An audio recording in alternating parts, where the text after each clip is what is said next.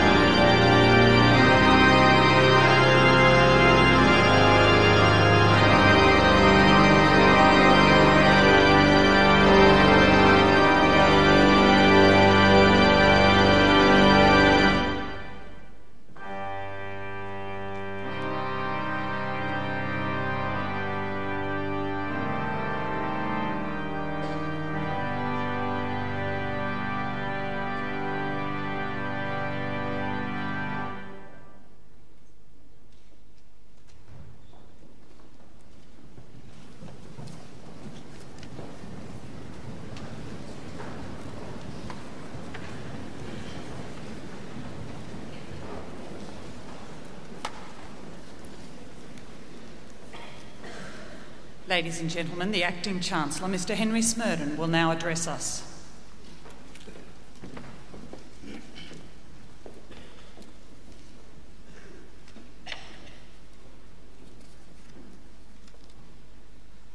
Mr Vince O'Rourke, Professor Glyn Davis, Vice-Chancellor, members of the Griffith University Council, distinguished guests, colleagues, graduands, ladies and gentlemen. It is the custom for Griffith University and its guests to gather and celebrate the conferral of academic awards on its graduates. On behalf of the Council of the University, I'm pleased to extend a very warm welcome to everyone present for this graduation ceremony. This occasion is particularly special for our students who this evening are graduating from the Faculty of Commerce and Management. In the presence of family, friends, and representatives from the entire university community. Their dedication and hard work are recognised and rewarded. I am also privileged to extend a very warm welcome this evening to Mr Vince O'Rourke, the former Chief Executive of Queensland Rail. Vince will receive the honorary degree Doctor of the University, and I'm also delighted that Vince has accepted an invitation to deliver this evening's occasional address. In recent times, higher education has been the subject of at times heated discussion and debate.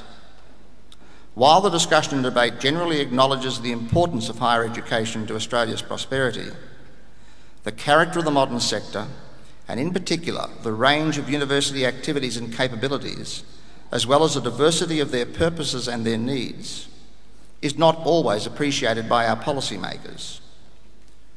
Too often, we seem to be faced with a one size fits all syndrome rather than taking appropriate account of newer, faster growing institutions such as Griffith. The recent changes to arrangements governing research higher degrees has been a case in point. Let there be no doubt that universities are a vital part of our nation's economic and social infrastructure. If Australia is to secure a strong, viable place for itself in the new global economy, the reality is that it must have in place policy frameworks and funding arrangements which are supportive of higher education aspirations and outcomes and which recognise the diversity in the sector. However, it is fair to say that much has been achieved in the past 20 years. The Australian higher education sector has transformed from a somewhat elite to a much more egalitarian system. The numbers of universities and students have nearly doubled, and the sector has developed as a strongly performing export industry. Furthermore, close linkages have been developed between universities, industry, and the community, which have played an important part in facilitating the rapid expansion of the sector. While we have much to be proud of, unfortunately, Australia still has some way to go to match other OECD countries which consider public outlays on higher education sectors that are broadly based and accessible to be a critical investment in their human capital. If we are to grow and prosper as a nation of the future, in my view, we must dismiss any notion that higher education outlays are a burdensome budget expense. The investment in higher education must be made, not only for our future, but the future of generations to come. I am not alone in holding this view. Such eminent persons as Rupert Murdoch and Ian Macfarlane, Governor of the Reserve Bank, have commented on the national importance of a well funded and functioning university sector. Mr Murdoch has gone so far as to warn that without urgent support for our centres of learning, Australia is threatened with global irrelevance. I hope that the announced review of higher education by the Federal Education Minister, Dr Nelson, recognises and appreciates not just how much has been achieved over the past 20 years, but also what can be achieved by universities such as Griffith in the future, provided we receive adequate support. But let me hasten to add that the investment must come not just from government, but from the business and the community as well. Each must play their part. For our part, we believe that Griffith University has an important role to play in shaping the future and is committed to the enrichment of the Queensland, Australian, and international communities through teaching and research. In keeping with this belief, Griffith is a strong supporter of the Queensland Government's Smart State initiatives and the Gold Coast City Council's Innovation City strategy. In less than 30 years, our university has grown from being one of the smallest public universities into a multi campus, learner centred research institution spanning the Brisbane Gold Coast region. Our university is currently the ninth largest Australian university with approximately 26,000 students and growing. Griffith is poised to establish itself among the top 10 research institutions in Australia. It hosts some 50 research units and ranks eighth nationally for research income from industry. Moreover, Griffith is one of the most active universities in the Cooperative Research Centre program, being a participant in 11 of these centres. As a teaching institution, Griffith aspires to prepare graduates committed to civic responsibility, who are professionally able and who combine technical knowledge with broad skills in analysis, problem solving, communication, and teamwork. Our university was founded on innovative teaching methods and has maintained a strong commitment to innovation and creativity.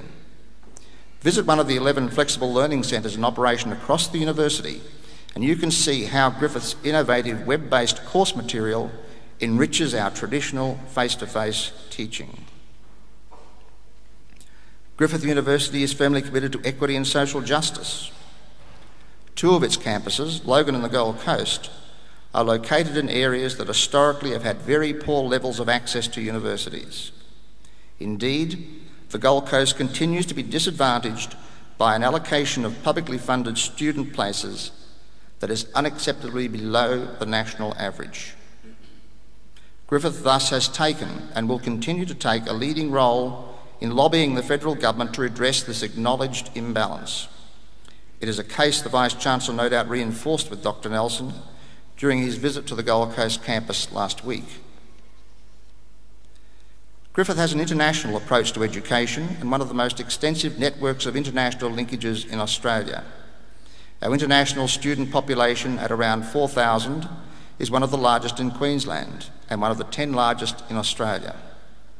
Not surprisingly, Griffith has won consecutive Premier of Queensland awards for export excellence in the category of education. Commerce and Management is the largest faculty at Griffith University, and it continues to enjoy strong student demand. Nearly a third of all students and over 40% of all international students are enrolled in its programs. During the past year, the faculty has concentrated on developing new markets, especially in Europe, the United States, and India. It has also strengthened its links with counterpart institutions overseas. The School of Tourism and Hotel Management now offers a joint degree in hotel management with Sejong University in Korea, while the Schools of International Business and Asian Studies and of Accounting, Banking and Finance are developing joint programs with Shenyang University in China. It is not surprising, therefore, that international student enrolments in the Faculty of Commerce and Management have jumped by 41%. A study published recently in the Pacific Basin Finance Journal ranked Griffith 28th out of almost 100 universities for the number of publications appearing in 17 respected finance journals during the 1990s. A strong testament to the commitment our university has to research and publication. But perhaps our best and longest lasting contributions to our society are all these outstanding individuals sitting here with us this evening. To our graduating students, may I say that now your studies are completed, you are joining an elite group. The percentage of the Australian population who possess tertiary qualifications is not large. As members of this group, you can have reasonable expectations for better career opportunities and rewards. However, the road will not always be easy and there are no guarantees of outcomes. For many of you, tonight is another step in what will be a lifetime of continuous learning and development. The benefits of a good education are well documented. It enables us to realise our potential as individuals, as members of our families and community, and in our chosen careers. At the same time, education also brings a particular responsibility to work for a better world, to be sensitive and responsive to issues of social justice, and to be competent, ethical, and hard-working professionals in whatever field of endeavour we choose for ourselves. I commend you on the achievements which already signify your personal determination, energy, and the ability to make differences in your lives. However, it takes more than determination to succeed. The building blocks provided by this university and the partnerships we have forged with you to this point are important. But the support of your family and friends should never be underestimated. It is true that change is inevitable. Time, your career, and the people in your lives will all make some contribution to this change process. Change is an opportunity for growth and learning and to discover diverse aspects of the human condition. I hope that, added to the wonderful knowledge you already possess, these experiences will nurture tolerance and understanding. My final hope for all graduates is that your years of preparation to reach this point will be the impetus for much more work and study that will reward you with many years of happiness and fulfilment. I hope that in this process of continuous learning, you will always give back to the community and to the world in keeping with the education and opportunities afforded you. As we continue with this evening's proceedings, I would again express my very warm congratulations to each one of you and extend to you our best wishes for your lives ahead. Thank you.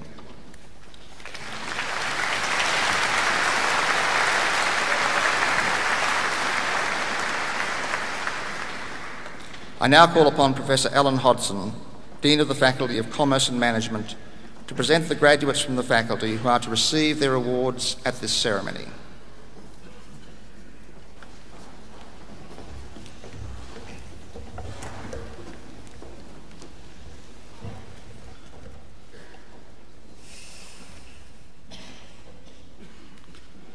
Acting Chancellor, I present graduates from the Faculty of Commerce and Management who have been granted the following awards Bachelor of Business Communication, Melanie Jane Callahan.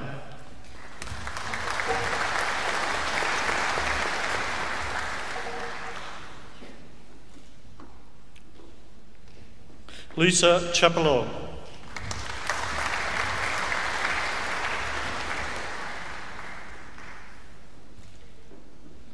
Rhonda Duncan.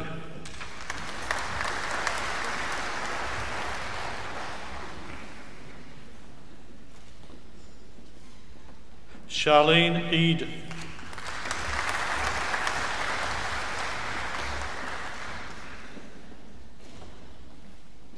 Alison Hogan.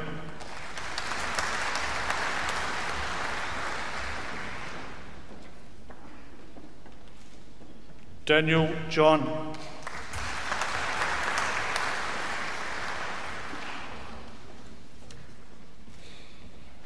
Anthony Keenan.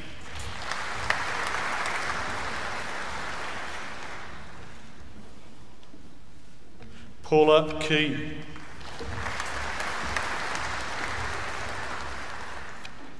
Alex. Alex McDonald.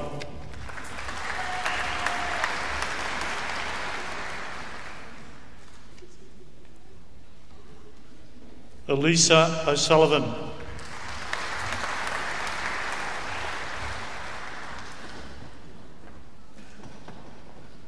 Carly Smith.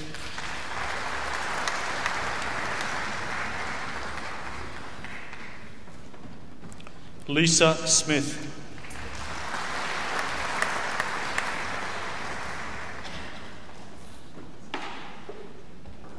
Matt Woodford.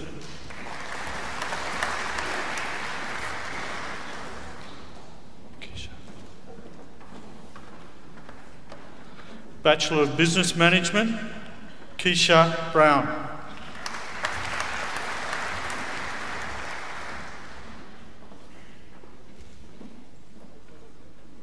John Chen.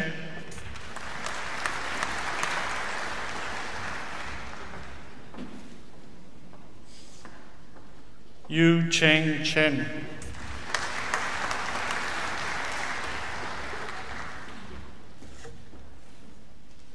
Chia Wen Chu.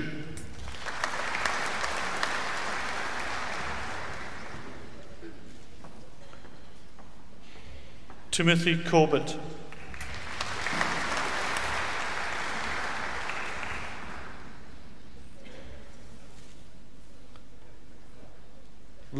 Eels.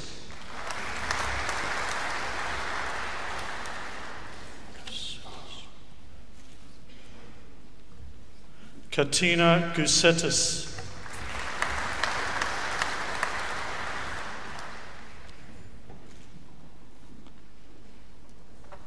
Gemma Grantham.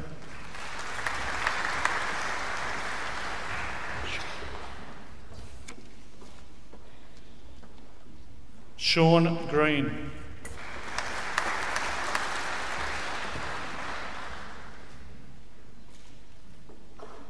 Daniel Hammond.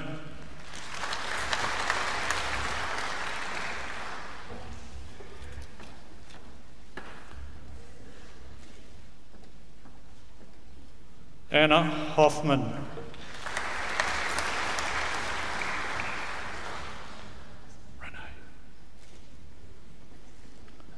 Renee Jones.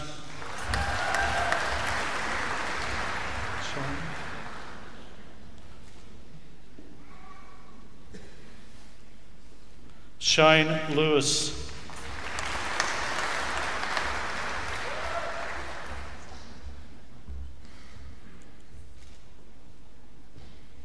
Matthew McCander.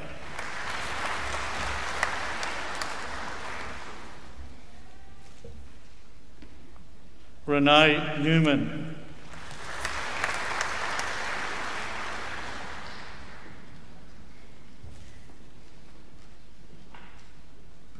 Kelly Newton.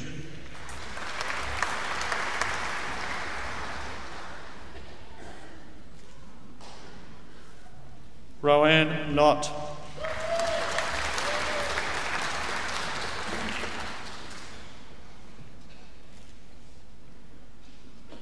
Ricky Ol.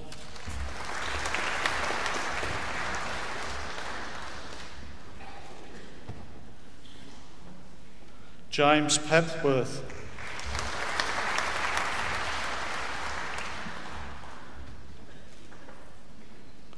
Natasha Pavlova.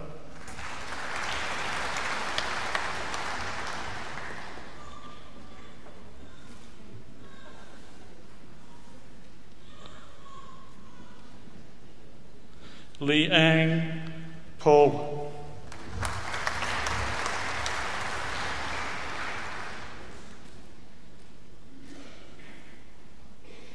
Nairi Priyo.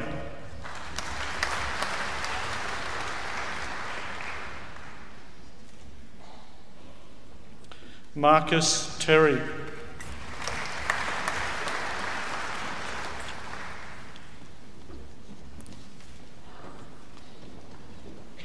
Odette Tufik.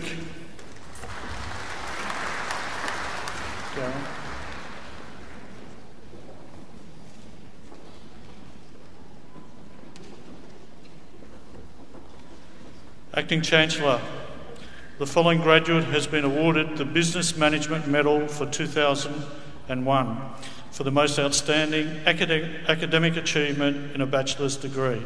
Darren Trinder.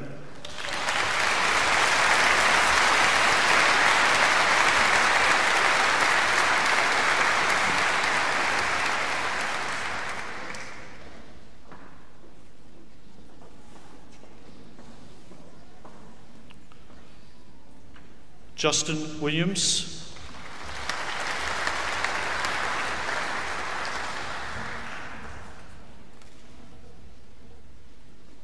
Kate Williams.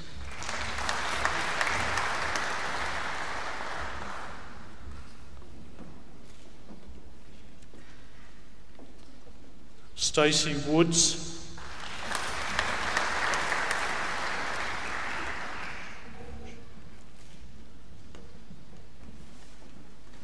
Shu Chen Kelly Wu.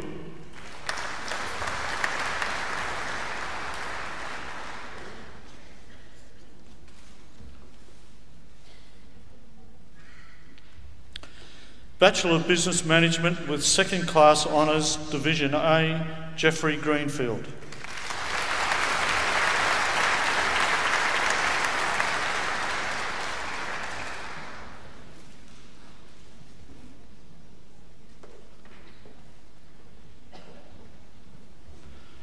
Bachelor of Business Management with second class honours, Division B, Justin Cunningham.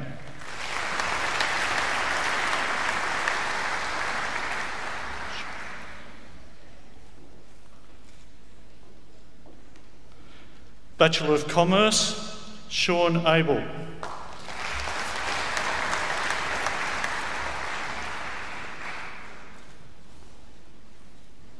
Varna Archel.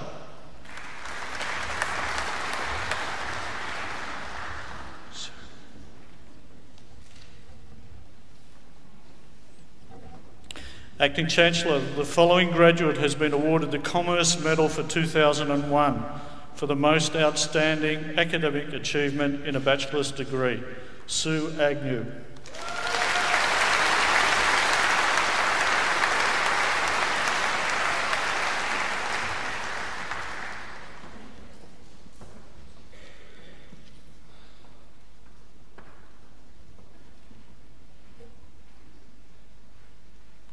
Maynaz Ahmed.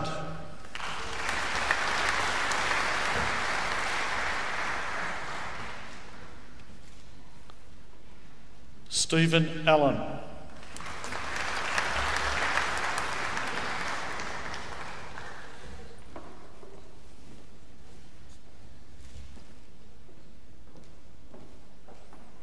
Kira Anderson.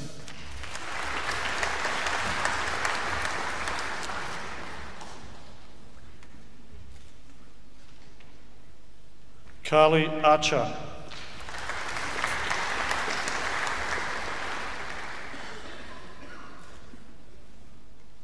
Janet Armstrong.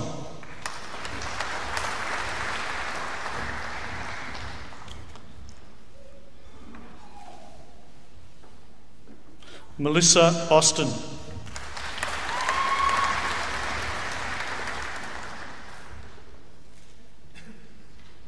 Brendan Bella Sekaran.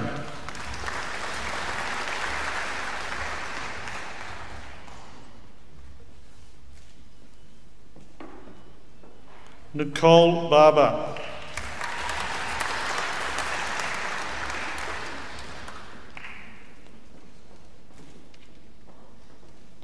Stephen Bish.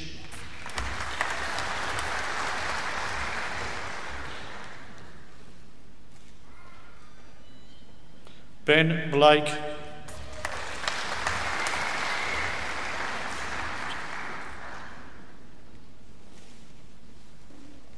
Nicolette Bori.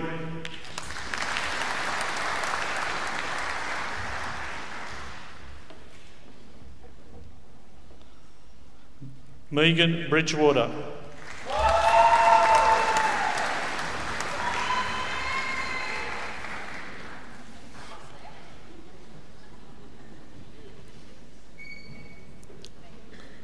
Amanda Brooks.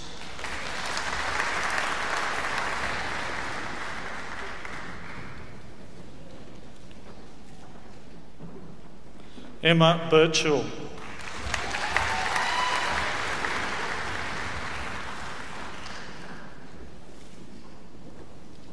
Lloyd Campbell.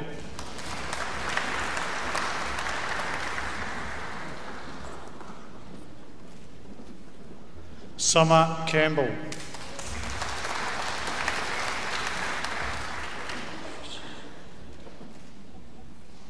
Patricia Cassis.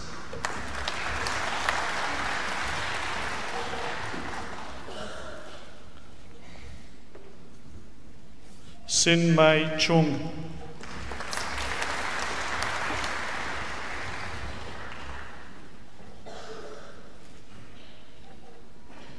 David Chim.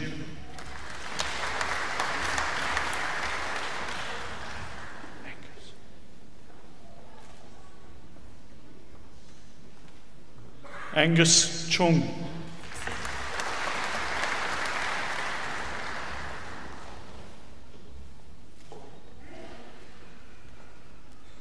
Joel Cooney.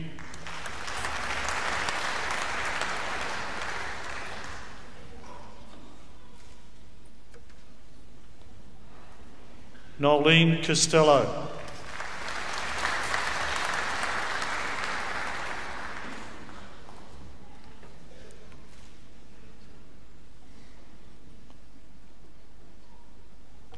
Rebecca Cohen.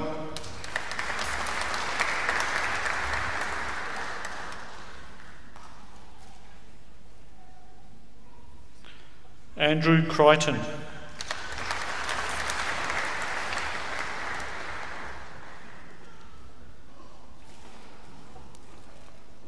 Brad Crow.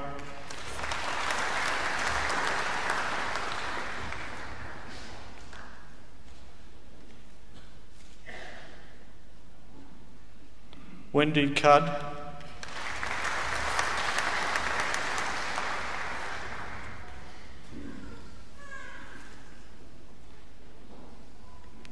Susan Daywood.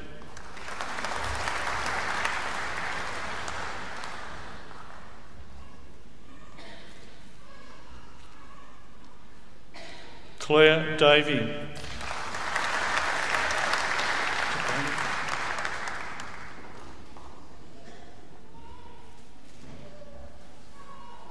Michael DeBranny.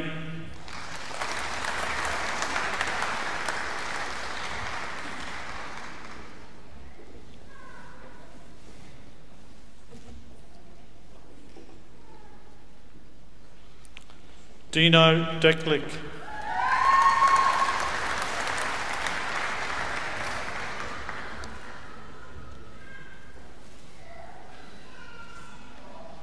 David Denman.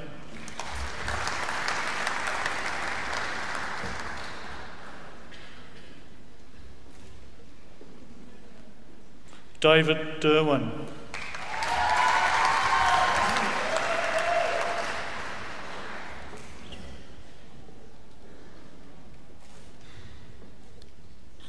Judith Ivy Yaya Perusa.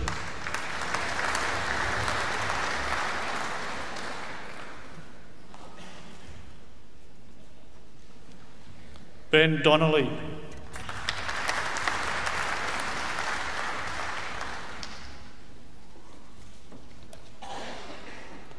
Michael Downing.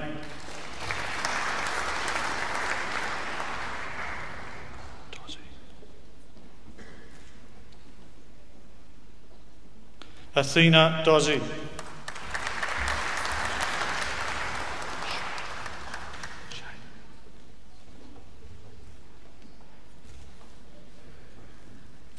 Shane Dyer.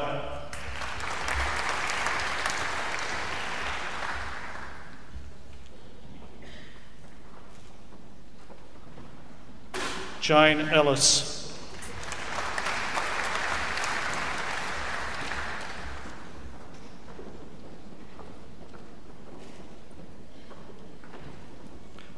Belinda Elmer.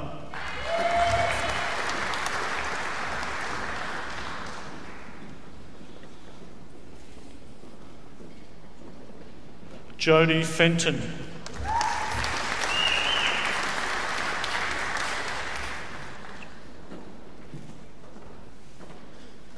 Tim Christopher Fowett.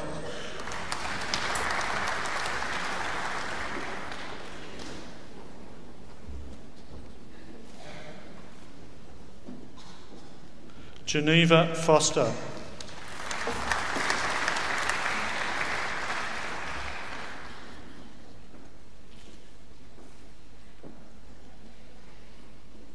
Kim Franks.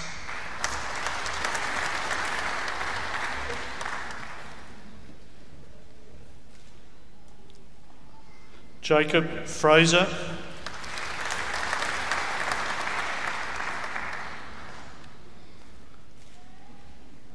Philip Gildard.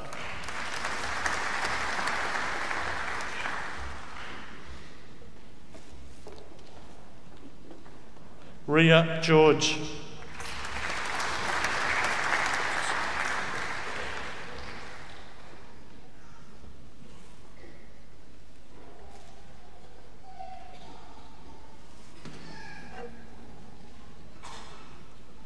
Elizabeth Gesmo.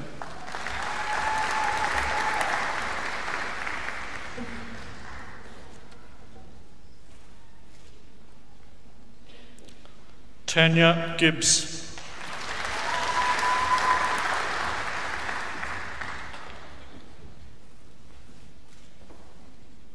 Alden Godinet.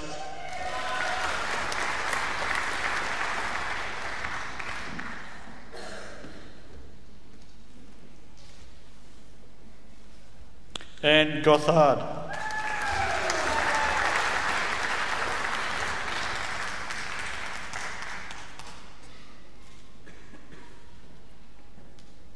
Karen Graham.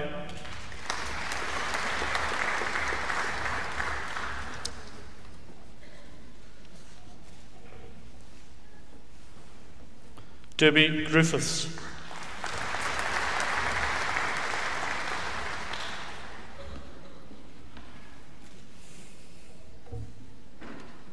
Elia Michael Haralampu.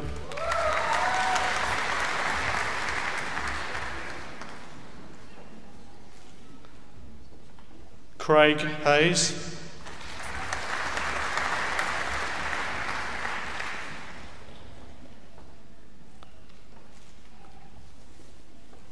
Brooke Henderson.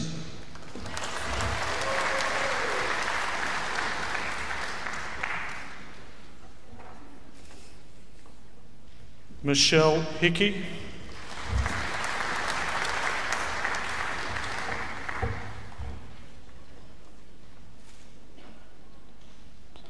Karen Horsfall.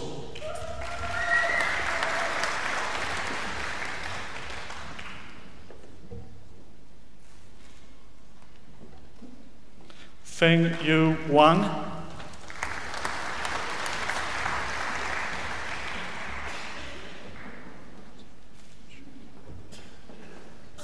Melissa Huddy.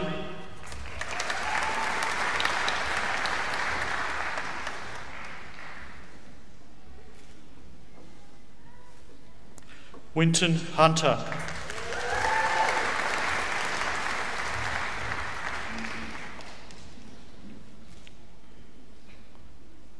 Wendy Hutchinson.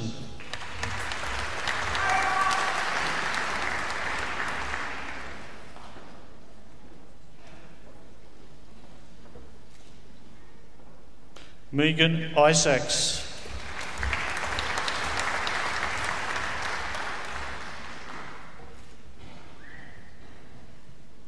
Lyndall Jackman.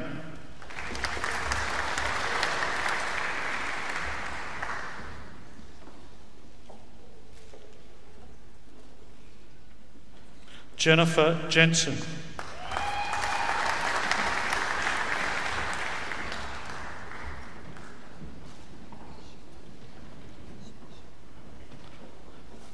Eshma Nagra.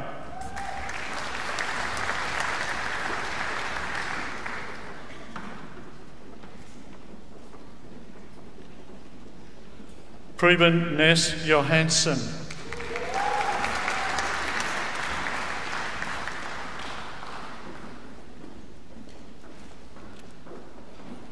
Louise Kelly.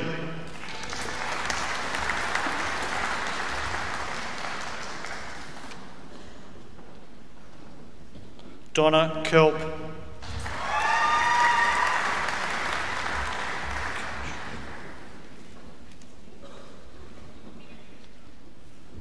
Vijay Khatri.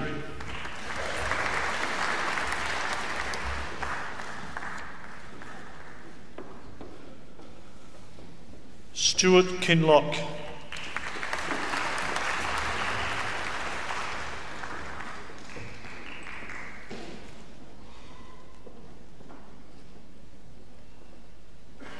Harry Kwan.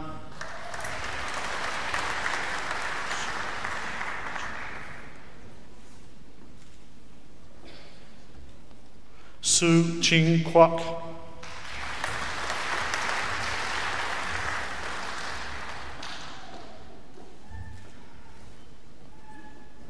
Gerard Lawler.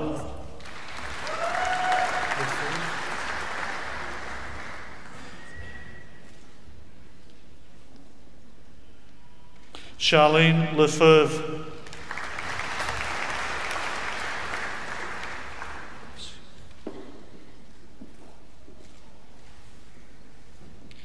Angelos Lee Assi.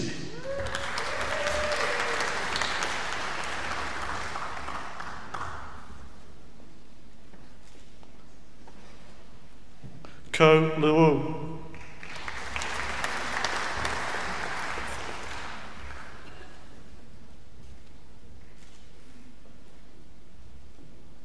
Stephen Lynn.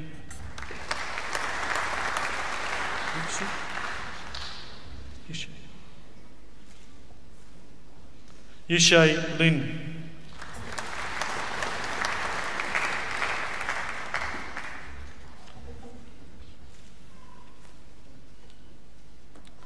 Gail Lindsay.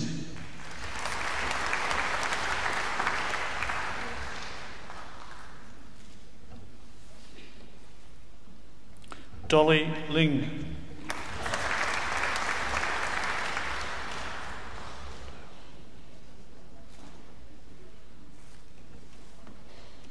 Ted Liu.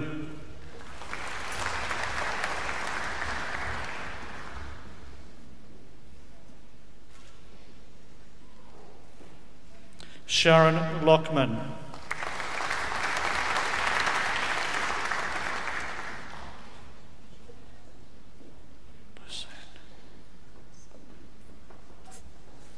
Julie Lucan.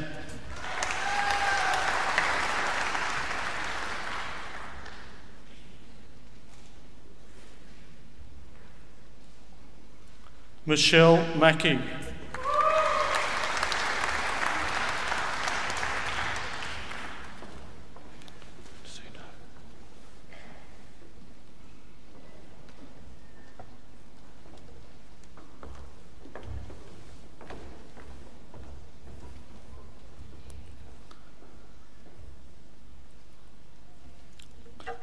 Donna Ma.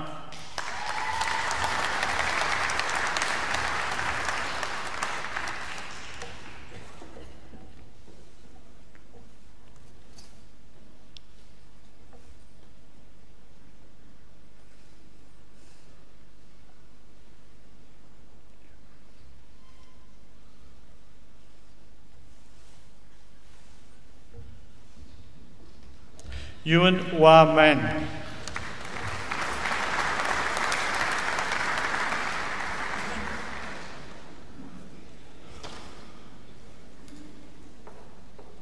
Kylie Menton.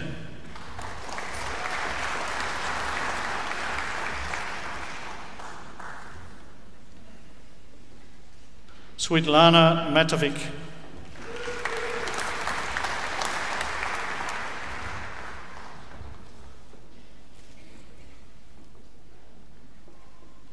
Anna Macaulay.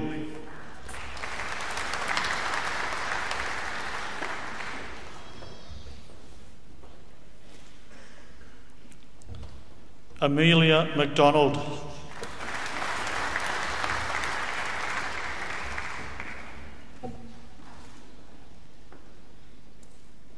Colin McLeod Robertson.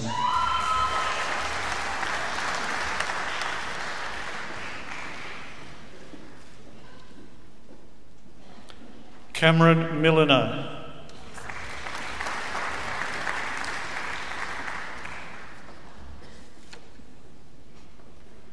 Christina Minna.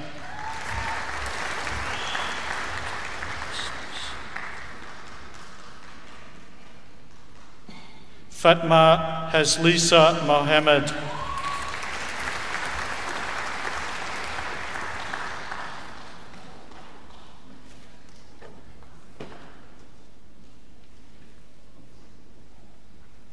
Faria Mohammed.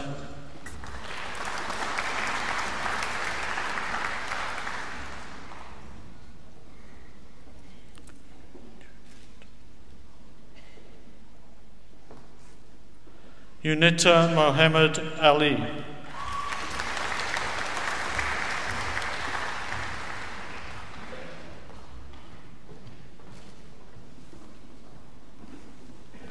Catherine Mollard.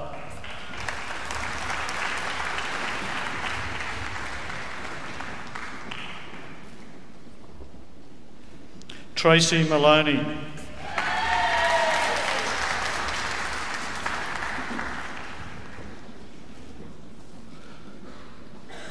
Gary Mortimer.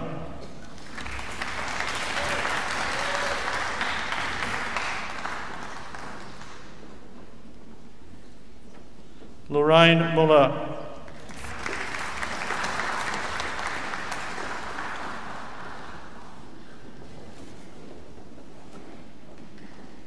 Trent Muller.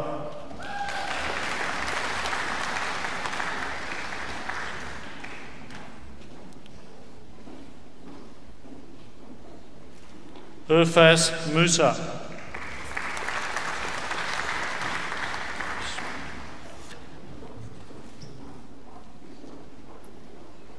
Charisma Narayan.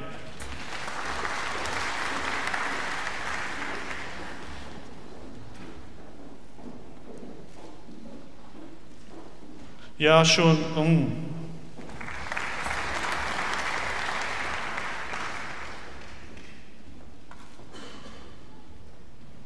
Flora Ung.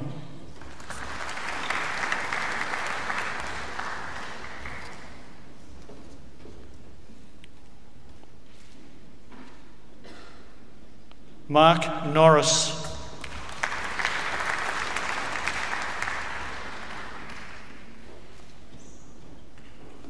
Anna O'Neill.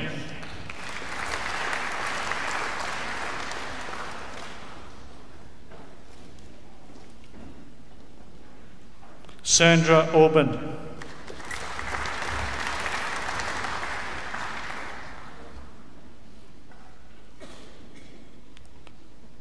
Brendan Owens.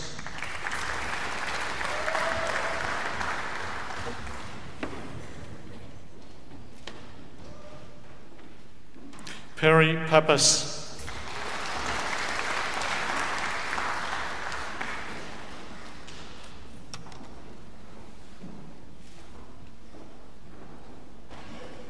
Christopher Park.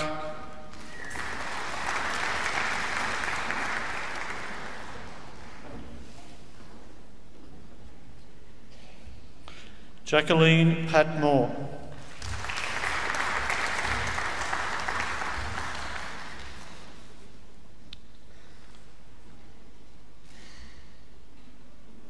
Deborah Pearce.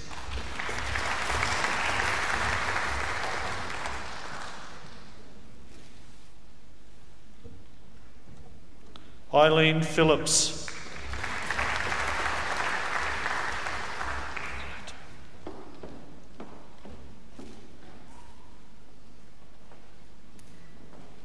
Davina Paletto.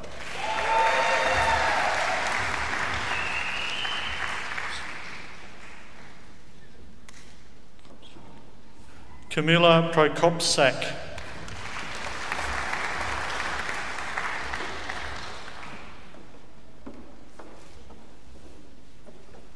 Michael Robinson.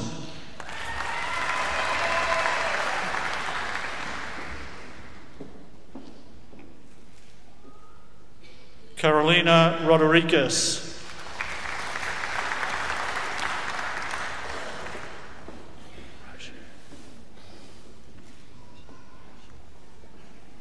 Gavin Roshi.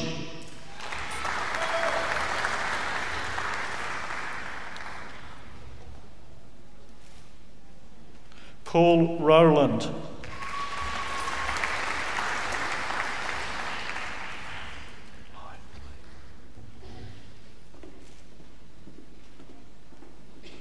Lee Pin Sek.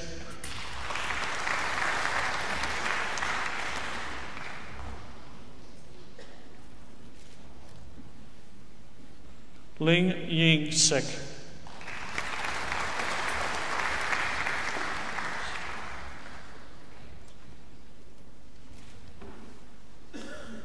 Anne Sedawan.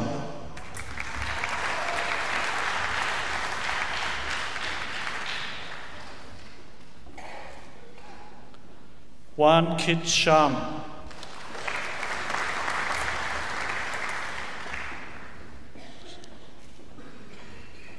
Barbara Singleton.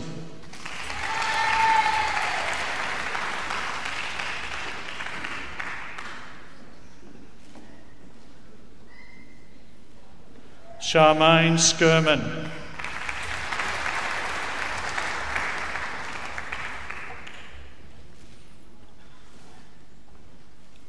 Scott Slack.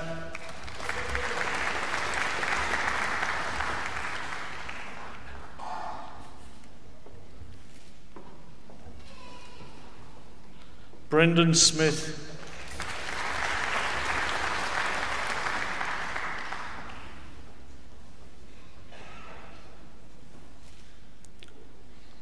Emma Smith.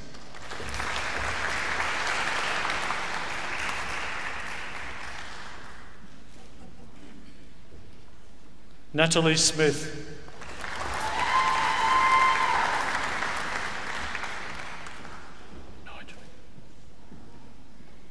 Nigel James Smith.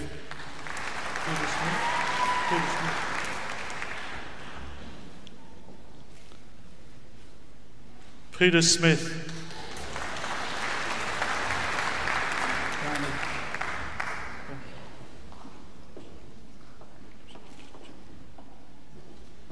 Yanni Soteja.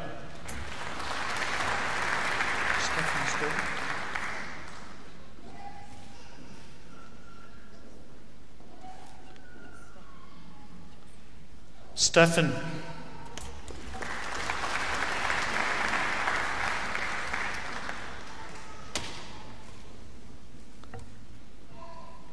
Amanda Steer.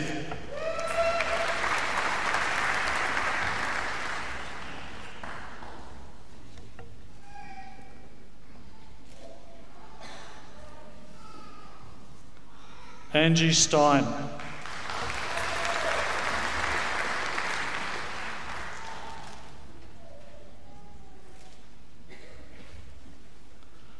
Robin Studley.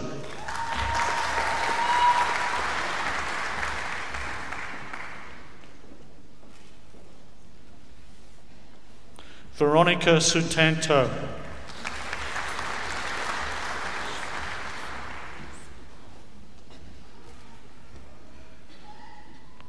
Elisa Swain.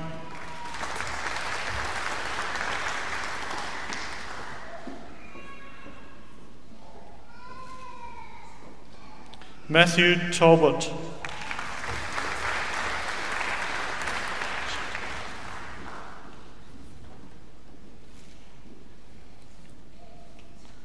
Z10.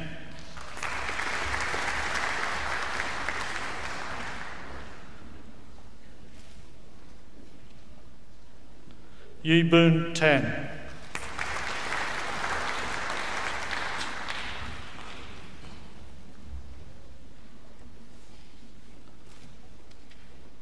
Jonathan Tennant.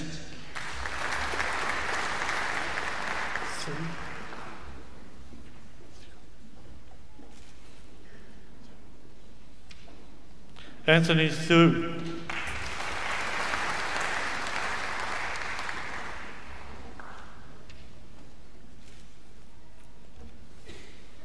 Sandra Thomas.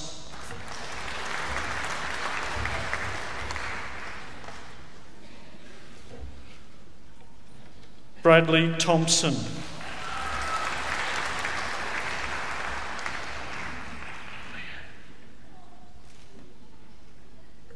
Leanne Tran.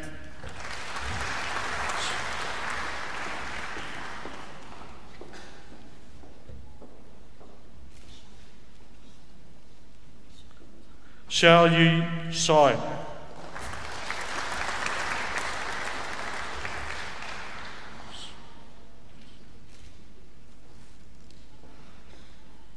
Lucia Su.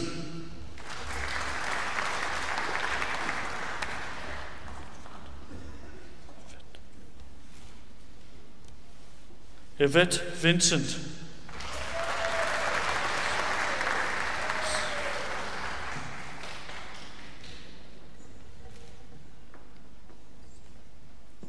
Sonal Weiss.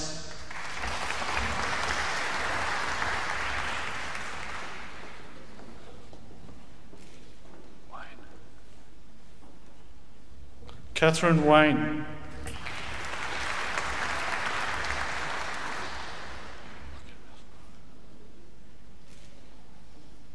Joel Watson.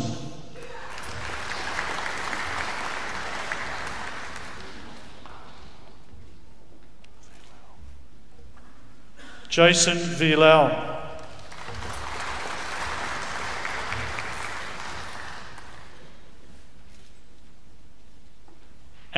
White.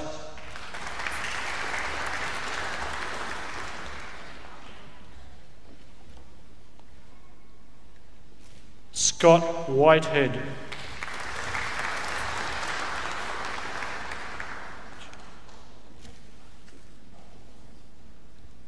Liana Widya.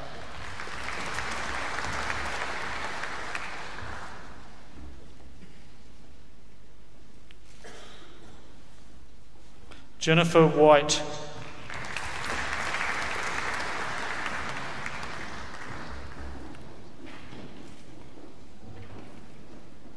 Leanne Williams.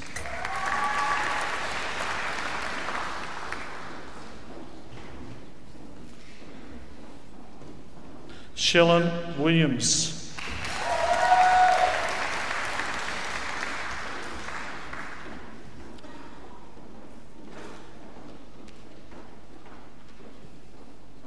Sylvia Williamson.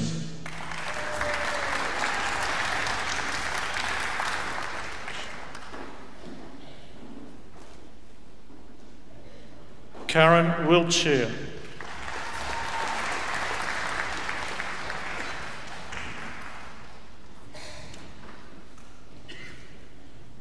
Cheryl Wiltshire.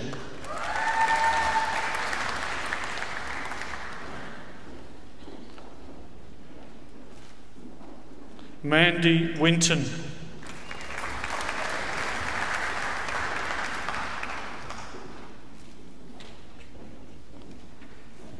Lee Fong Wong.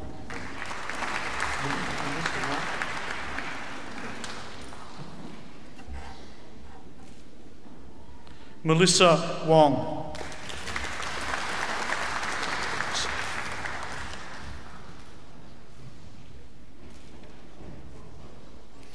Linda Marie Xavier.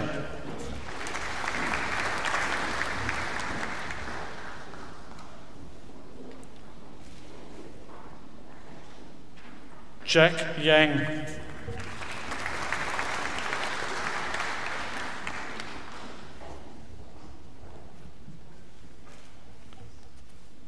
Lisa Yates.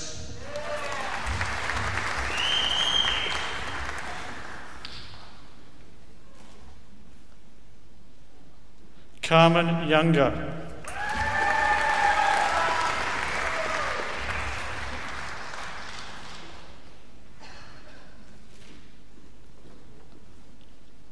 Neil Younger.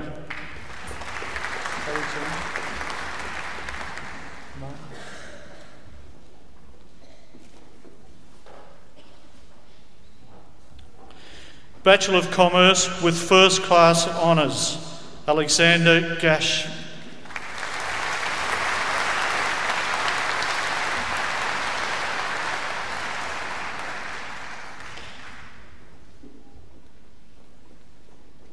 May McPhail.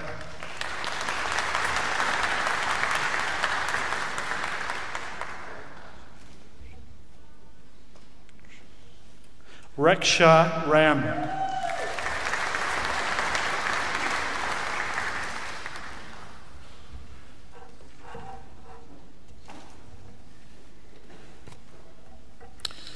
Bachelor of Commerce in Banking, Finance and Risk Management, Lauren Aubrey.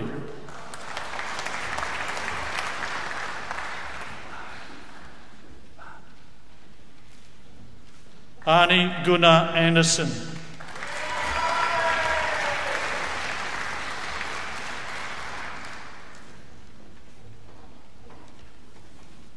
Acting Chancellor.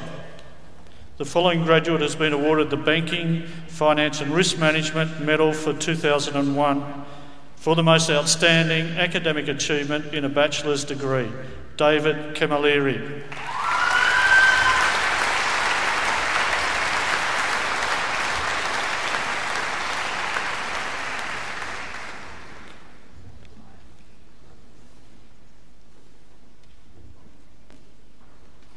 Kai Fang Dai.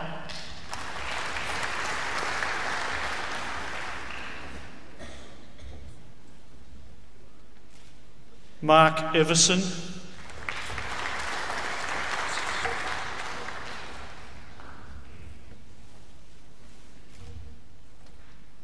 Abdul Aziz Khalid.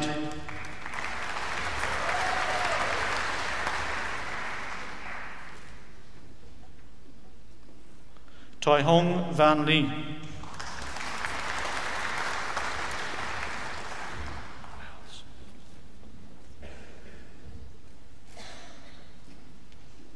Cliff Mills.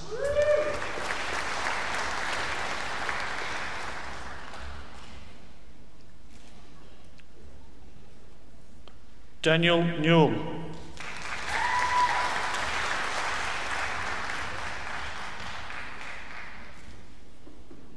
John O'Brien.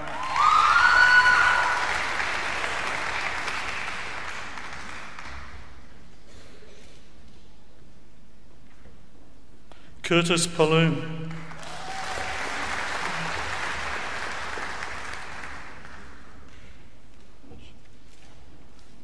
Fawaz Rashid.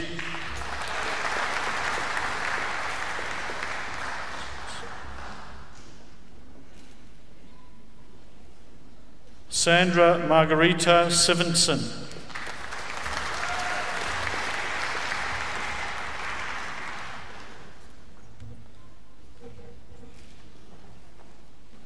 Kakit Wong.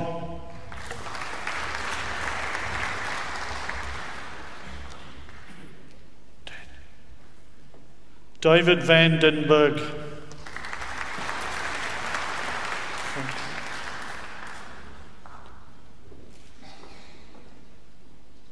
Frank Yip.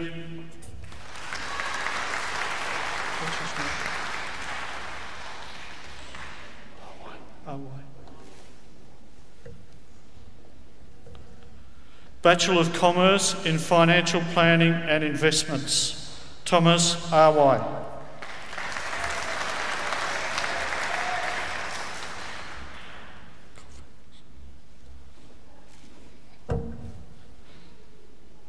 Alex Colfax.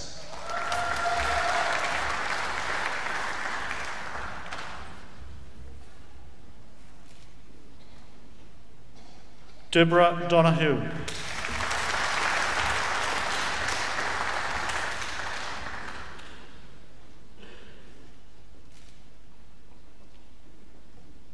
Louise Evans.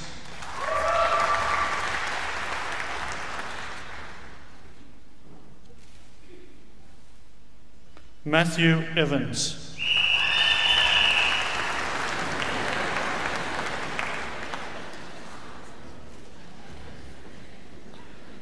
Christopher Holloway.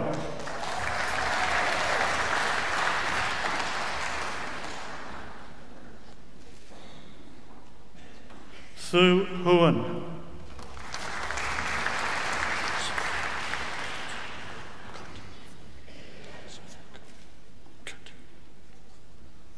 Sofan Kut.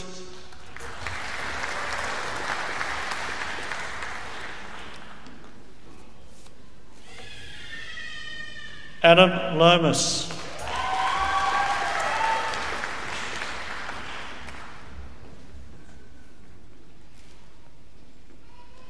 Melissa Parish.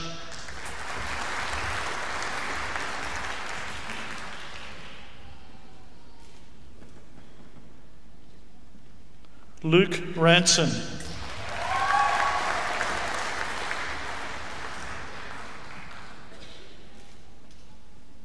Karen Thompson.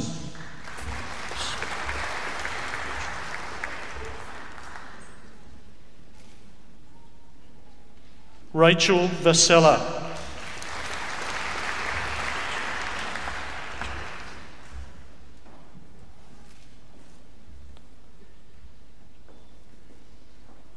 Nikki Wijaya.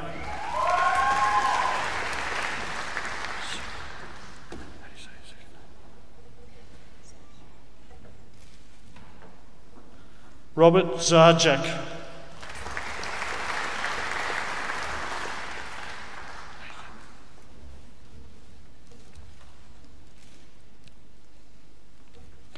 Bachelor of Commerce in Retail Management, Megan Buck.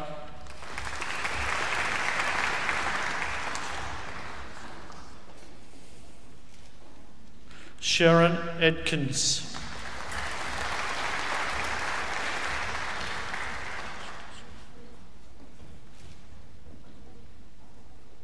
Carl Hobden.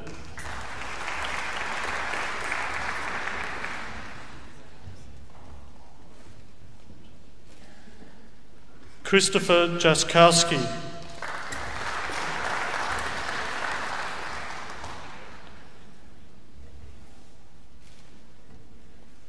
Paul Ryan.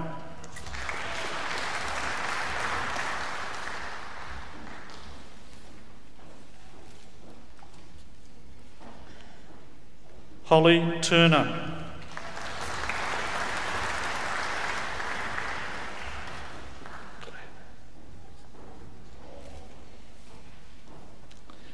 Bachelor of Commerce, Bachelor of Science, Claire Weller Evans.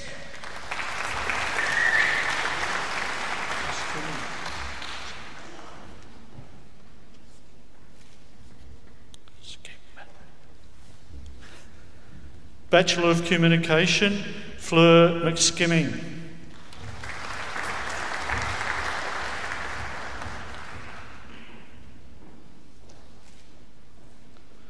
Bachelor of Enterprise Management, Marie McGreevy.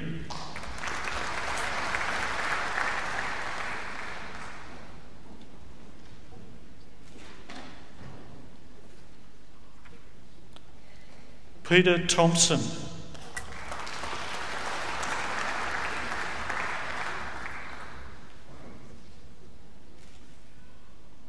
Marcus Ubel.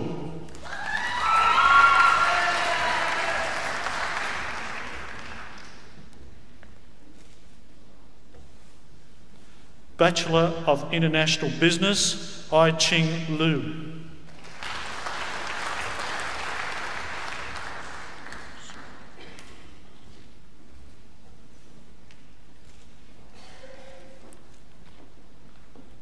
Graduate Certificate in Banking and Finance, Ching Sung Wang.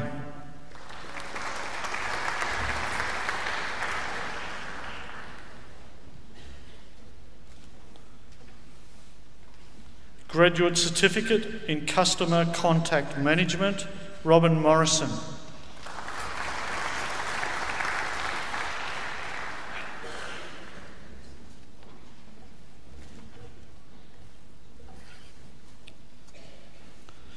Graduate Certificate in Human Resource Management, Helen Pawson.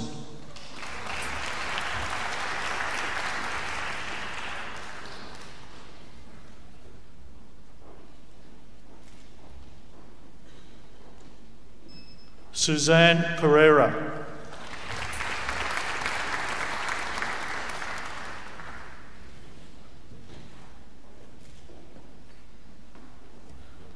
Graduate Diploma of Accounting and Finance, Vicky Ann Stagg.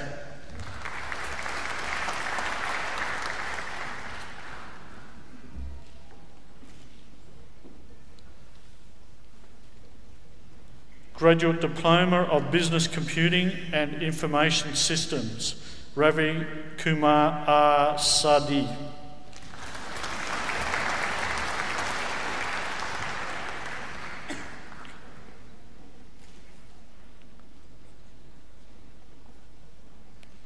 Hamid Khan.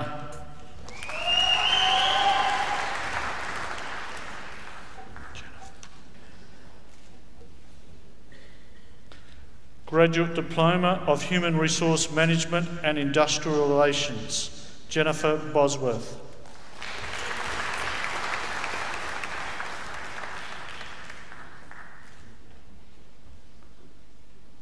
Maya Brown.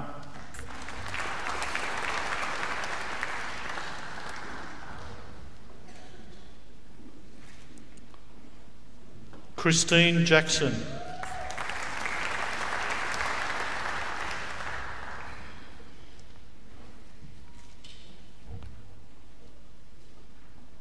Bill Schroeder.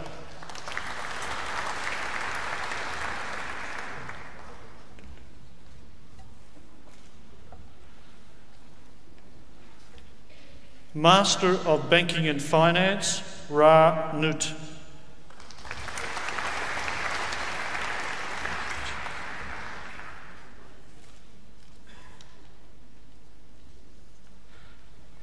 Suchada Pukma Hadamrang.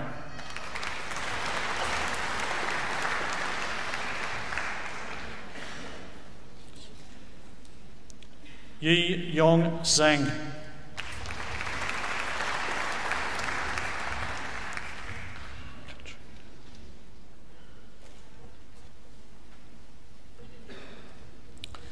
Master of Commerce in Accounting and Finance, Katrina Woodrow.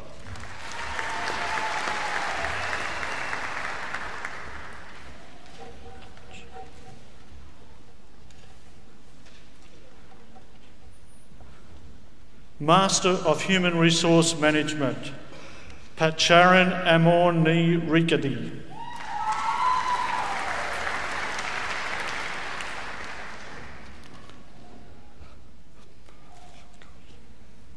Brad Barber.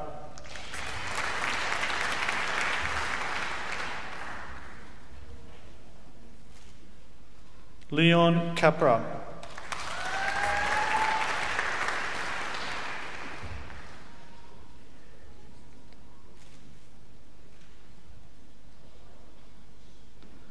Gemma Bronwyn Davidson.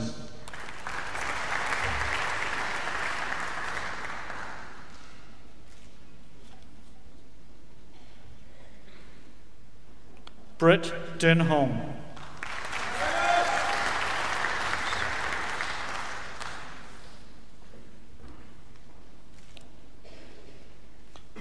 Anne Louise Purvis.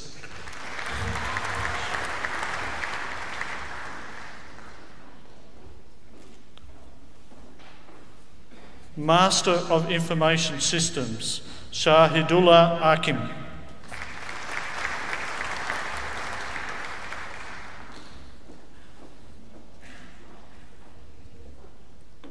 Kevin Shen.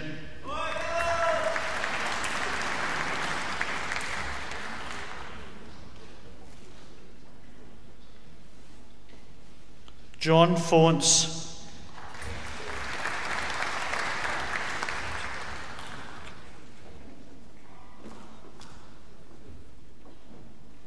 Amit Nikra.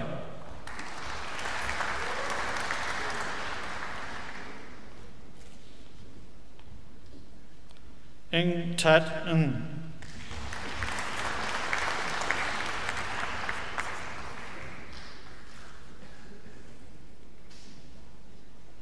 Keith Reid.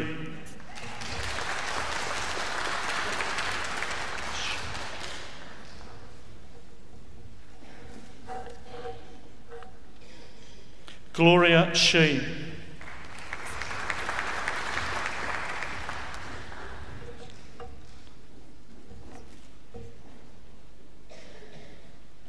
Serene Vasilou Apala Patti.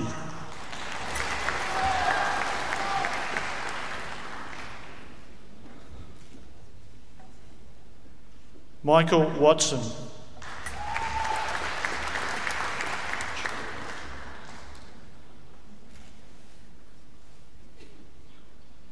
Chai Ying Wu.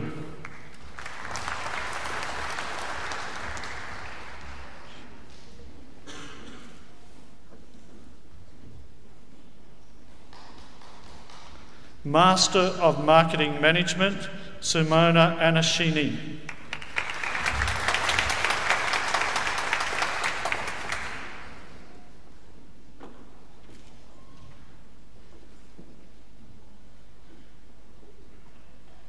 Kevin Carlon.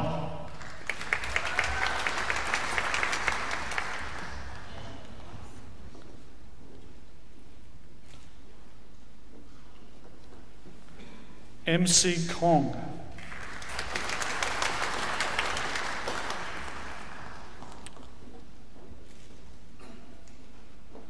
Dut Lee.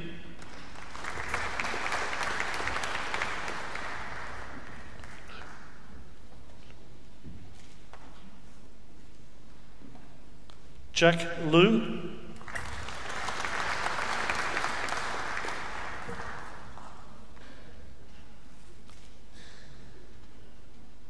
Lynn Ma.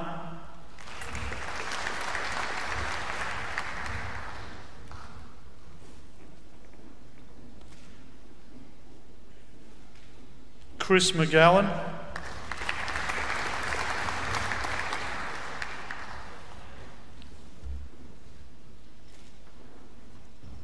Francis Tam.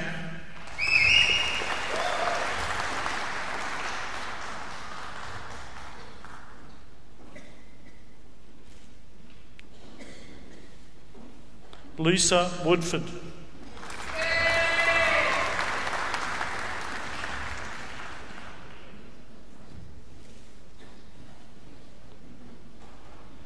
Ning Wu.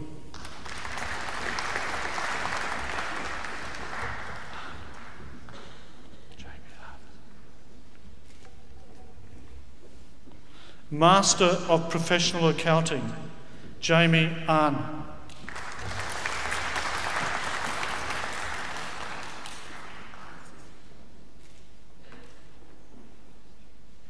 Margaret Francisco.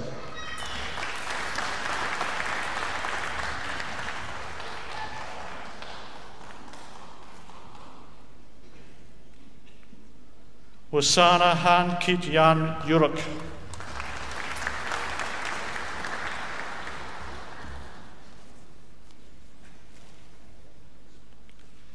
Lu Lin.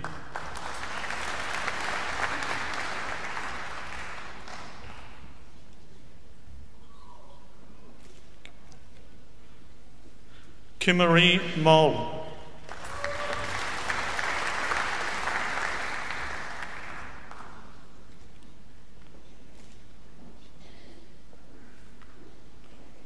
Alpha Merjev.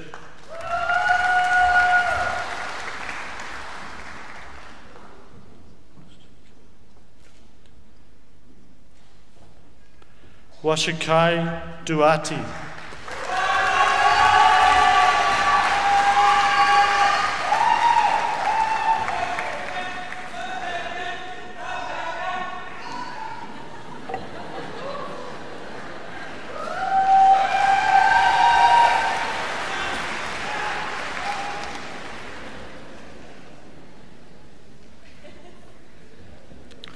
Today, the University is proud to honour graduates who have satisfied the rigorous criteria for the award of the degree of Doctor of Philosophy.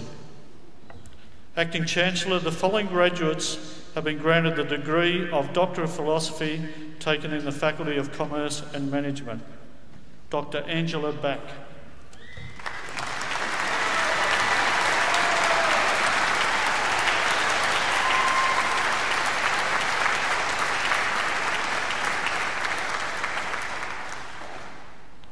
Dr. Back's thesis examines a longitudinal study into issues of identity and control for Chinese school students in Australia, focusing on cultural dimensions related to a particular concept of self, big me and little me, and implications for self management.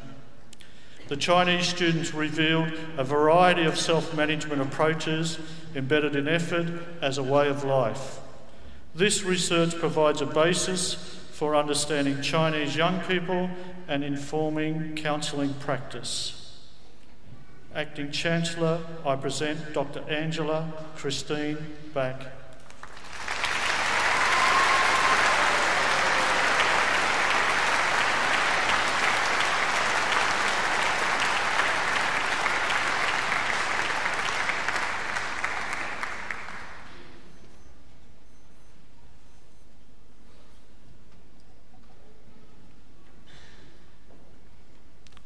Dr. Cheryl Ramsey.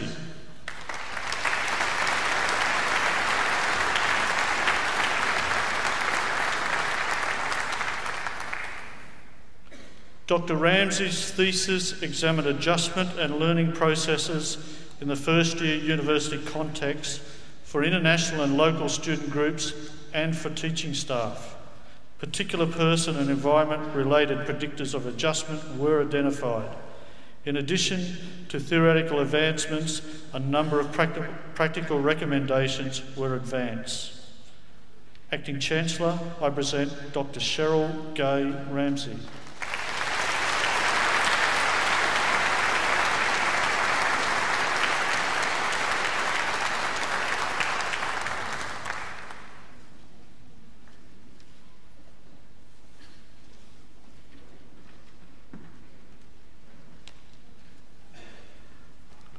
Acting Chancellor, that concludes a presentation of graduates in the Faculty of Commerce and Management.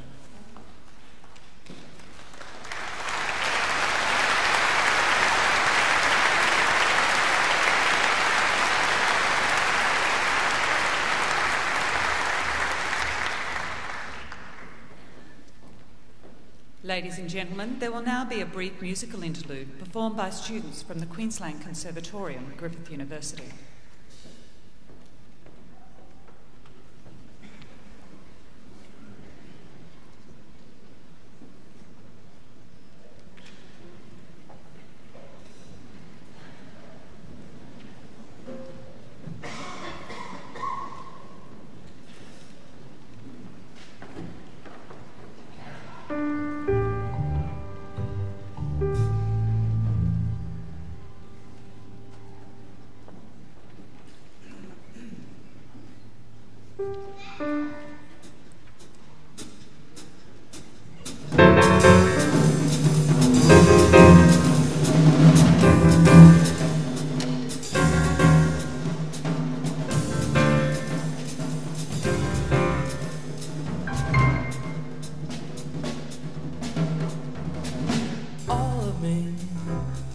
Take all of me?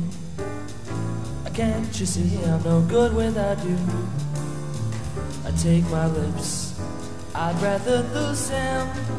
Oh, take my arms, I'd rather lose them. Your goodbye left me with eyes that cry. Oh, how can I go on, girl, without you? You took the part that once was my heart, so why not take all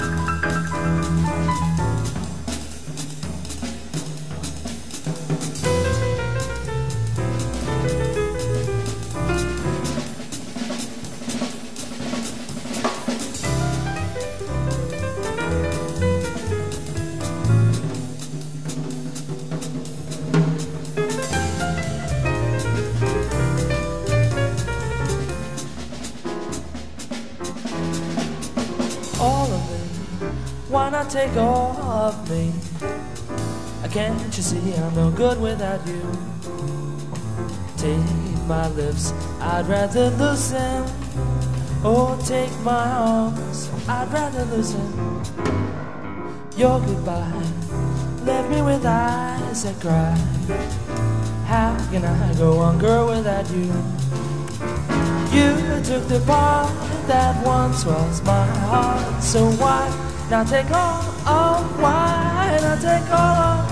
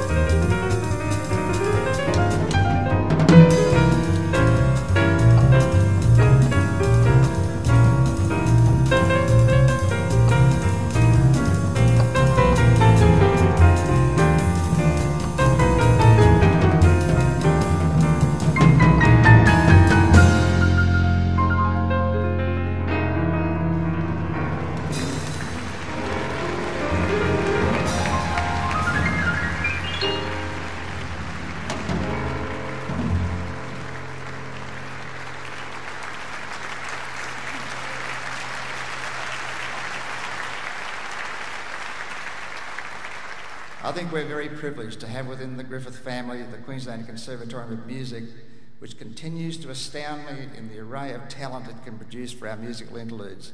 I think our trio tonight are no exception. Well done, boys.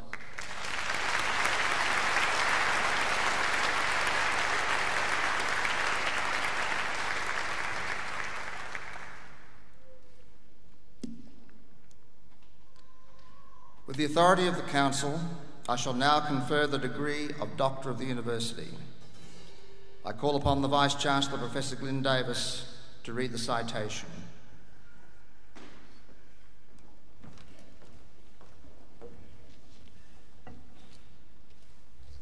Acting Chancellor, the Council of the University has resolved to award the degree of Doctor of the University to Mr Vince O'Rourke, AM. Vince O'Rourke was born in Bathurst in 1936 and educated at South Riverina in New South Wales. Following in his father's footsteps, he began his career with the State Railway Authority in Albury, New South Wales, in 1954 as a junior porter. He worked in different parts of the state in various departments, including operations, finance, and business, during the early part of his career. He was promoted to the position of General Manager Freight Services the largest branch within the New South Wales Railway Authority, employing 9,000 people across the state and generating over $800 million in revenue. 36 years after he joined the New South Wales Railway Authority, Vince O'Rourke moved to Queensland in October 1990 to become the Commissioner of the then Railways Department. This was a period of great change. He soon began a process of commercialisation and is now credited with sparking the renaissance of rail in Australia. Vince O'Rourke oversaw Queensland Rail's program of reform and commercialisation, culminating in its corporatisation in July 1995. The 10 year reform program, which began in 1991, included a $6.5 billion worth of capital investment, an overhaul of operations, and a new customer and safety focus. Under his leadership, Queensland Rail has become the nation's most progressive railway operator, leading a revival of rail transport with new products and technology. During his time, this time, Queensland Rail developed the Tilt train and the luxury passenger train, the Great South Pacific Express. Other outstanding achievements included the building of the Gold Coast Railway and the establishment of the finest steam heritage railway fleet in Australia. The corporation achieved outstanding freight haulage records for export coal and received tourism awards for the Queenslander and the Spirit of the Outback services. The corporation also achieved three successes, the best I'm sorry, the corporation also achieved the, be- the best commuter on time running performance in Australia for three successive years by the Citytrain Urban and Interurban Network.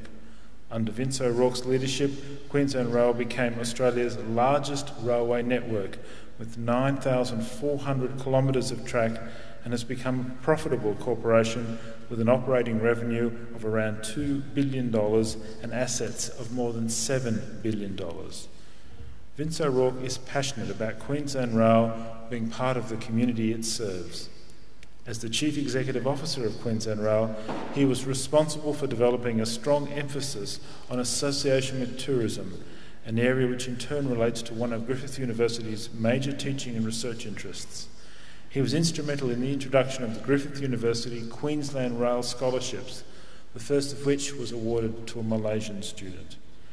Over a career spanning 46 years, Vince O'Rourke has not only contributed greatly to the development of a viable rail industry in Queensland, but he's also supported education initiatives in regional areas. Vince O'Rourke was one of the founders of an organisation of high profile public and private enterprises under one banner, the Australasian Railway Association. He was the first Australian to join the association and served as its vice president. He was a member of the National Rail Safety Working Group, which developed an intergovernmental agreement on rail safety. He is a former member of the Federal Standing Committee on Transport, the Australian National Training Authority, and a former director of the Queensland Treasury Corporation Capital Markets Boards. In 1999, Vince O'Rourke was honoured at the Queensland Tourism Awards for his outstanding contribution as an individual to advancing tourism in Queensland. And in 2000, he was appointed a member of the Order of Australia in recognition of his service to the rail transport industry. It is fitting that Griffith University honour Vincent John O'Rourke, AM, in recognition of his distinguished service to the community. Acting Chancellor, it is with the greatest pleasure that I present to you Vincent John O'Rourke for admission to the degree of Doctor of the University.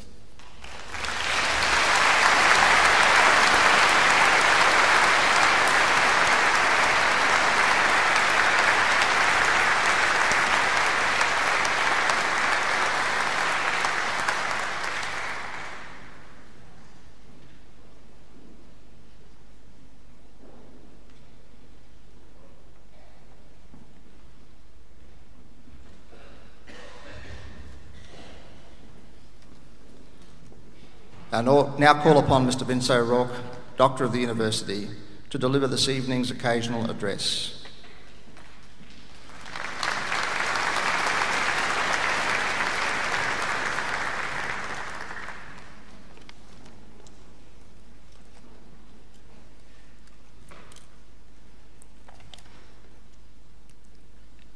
Acting Chancellor of Griffith University, Henry Smerdon, Vice Chancellor, Professor Glyn Davis, Professor Alan Hodson, Dean of the Faculty of Commerce and Management, academic staff, members of the University Council, and other members of the official party, graduates and their families, ladies and gentlemen. Thank you, Vice Chancellor, for your kind remarks, and I deeply appreciate the great honour Acting Chancellor, that the University has bestowed on me this evening. It's been a long and most rewarding journey for me from a lad railway porter some 45 years ago to this wonderful Griffith University graduation ceremony here tonight. During my working life, I have been very fortunate to have been part of a revolution in an old economy industry, railways, as they have moved from the steam era into the business and technology driven industry that I am confident will be at the forefront of land transportation in this century. I joined Queensland Rail from the New South Wales Railways in October 1990 and very much welcome the challenge of transforming an old bureaucratic government department into a modern and progressive business enterprise. I was most fortunate to work with a progressive board, a top leadership team, committed personal staff. But most of all, to have had the support and the encouragement of my wife Ailsa in a demanding corporate life. Both QR and Griffith have worked very hard over the last decade, facing up to the enormous challenges of the global marketplace and the vital need for new ideas and new ways to reskill and to change our workforce and to prepare young people for the dynamic future ahead of us. A fundamental issue for QR and one which Griffith worked with us was to develop a new style of leader. A leader who would give effect to a shift in workplace attitude to untap the energy and creativity of our people to give us a competitive edge to secure our future. This passion to become an innovative and creative organisation and to leave behind our bureaucratic past has been paying dividends not only for business performance but also for cultural change in this old industry. Last year, QR received national recognition for its corporate excellence in the Good Reputation Index published by the Sydney Morning Herald and the Melbourne Age newspapers. Overall, QR was ranked fifth out of the top 100 companies in Australia and first of the nine transport companies that made the top 100. Rankings were based on six criteria covering employment, environmental performance, social impact, ethics, financial performance, and market position. The remaking of QR in the 90s, underpinned by a huge $6.5 billion capital investment program, spurred on technological advances, a massive growth in productivity, new business systems, and strong commercial performance. But I would like to think that the best investment that we made was the building of a learning culture in the organisation, which was very much an investment in our future development and business growth. Synergies between railways and universities in this country is very strong. The universities date back to the 1840s, just as the railways were about to open up this vast nation. They are both old establishments with entrenched cultures that are today giving way to integrated and adaptive networks involving their peoples. And I recall so well in the late 70s working in the huge New South Wales railways with a 50,000 plus workforce, the organisation did not have a finance or commercial person with a tertiary quali- qualification. How the world has changed in a few short years with a revolution in financial markets and business management. Today, these organisations have sophisticated commercial and treasury management systems with young people, young men and women excelling in their achievements. QR today is 137 years of age. Its commitment to knowledge, technology, and innovation is achieving good gains both at home and abroad. And as the Vice Chancellor mentioned, its new tilting trains, introduced in 1998, have halved the travelling times between Brisbane and Rockhampton and are today the fastest narrow gauge trains in the world with a speed record of some 210 kilometres an hour. They have taken the tourist market by storm and opened up new opportunities for young people in the tourism world. Like Griffith, QR is successfully exporting its management and its technical expertise throughout Asia today working in Malaysia, Thailand, Vietnam, and China, to name a few. In fact, every day there's a small fleet of locomotives still or recently repainted in QR colours as a sign of friendship between Queensland and Vietnam, travelling between North Vietnam, hauling freight and passengers from Hanoi into, into China. Griffith University and QR have enjoyed a long and rewarding partnership, especially in terms of QR's accelerated leadership program and the support of, of scholarships. In today's global and highly competitive marketplace, the need for highly skilled and talented business leaders is a critical capability for any organisation. A strategic alliance between Griffith and QR is benchmarking this very successful leadership program with organisations in Australia and internationally. QR has been determined to develop the potential of all of its people. And in the mid 90s, all of our staff were provided with a book called The Line Ahead. The Line Ahead offered an insight into how QR might look in the year 2045, propelled by advances in technology and management innovation. It was designed to encourage our people to think of new concepts and new ideas, to untap their creativity in a world that is changing ever so rapidly. Trains travelling at 500 to 600 kilometres an hour were the order of the day.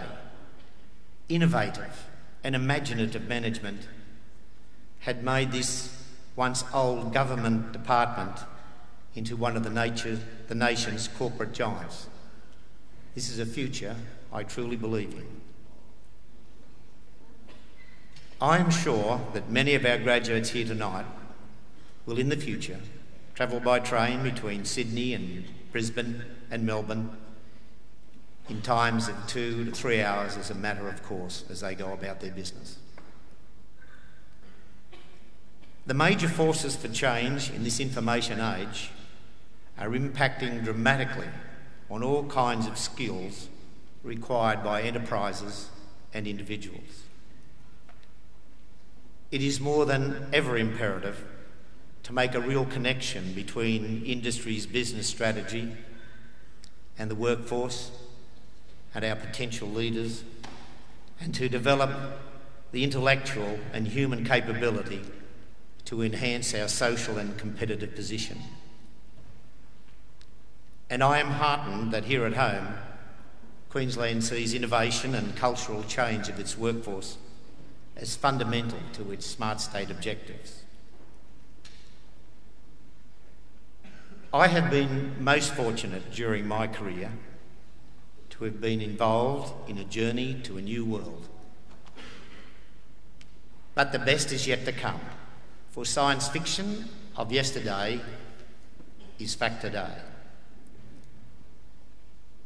It's a time to be bold. It's a time in business when the limits of our imagination become the only real barriers to innovation and success. You, our graduates, are the leaders of the 21st century, in which technology, innovation, and management excellence will dominate the future of this great nation. Good luck, and my congratulations and best wishes to all of you. And thank you, Griffith University, for honouring me.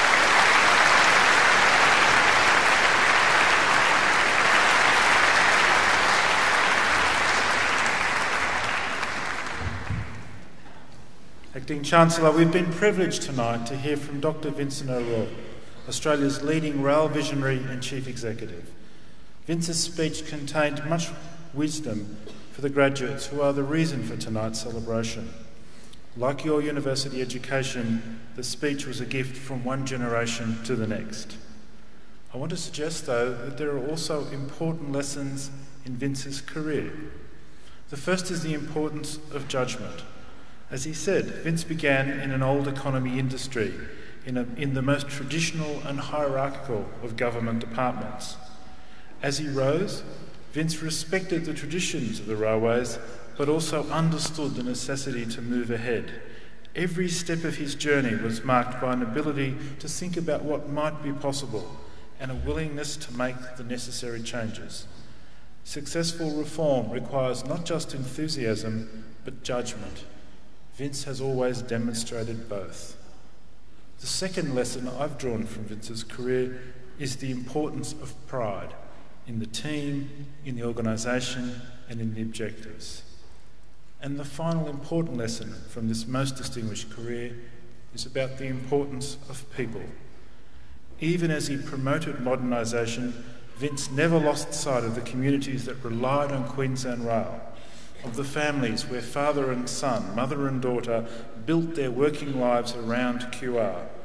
Where change was unavoidable, Vince found ways to open new opportunities to that team, new options, supporting people to study and acquire new skills. Or, for example, creating a rail workshop in Townsville to restore historic trains, which are now huge tourist attractions. And each year, Vince sent thousands of employees and stakeholders of government and the community a stoneware jar of railway port to remind everyone about the achievements of the QR team that year. Through vision about the future of the rail, through care to carry people with him, Vince O'Rourke carried to successful conclusion the most comprehensive rail reform program ever in Queensland history. He will long be hailed as one of our greatest public servants. At Griffith, we're proud of our association with Vince O'Rourke and with Queensland Rail.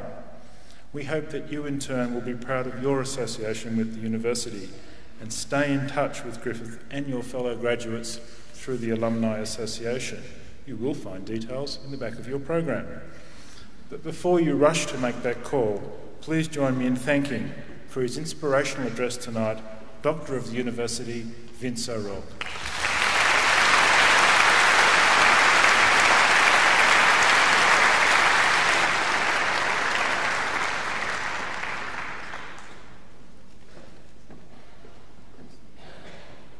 Ladies and gentlemen, the ceremony is now concluded.